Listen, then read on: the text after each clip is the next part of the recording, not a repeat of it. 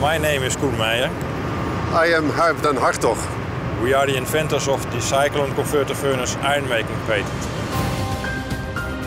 Steel is an essential construction material for our modern society. We can say if it's not made from steel, it's made with steel.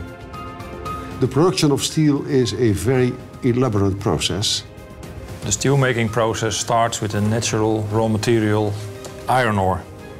To remove the contamination, the iron ore is broken down into even finer particles, resulting in a very fine powder. The invented process is able to use this very fine material directly.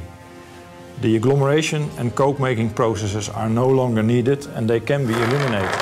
And it's no longer needed to turn this coal into coke, as we do in this plant behind me. Also, it will not be necessary to prepare the ore, which is done in plants like this. With the new invention, three out of four plants can be eliminated and we need only one plant to make hot metal. We will need a considerably lower investment and operating cost and it is in addition a big benefit to the environment.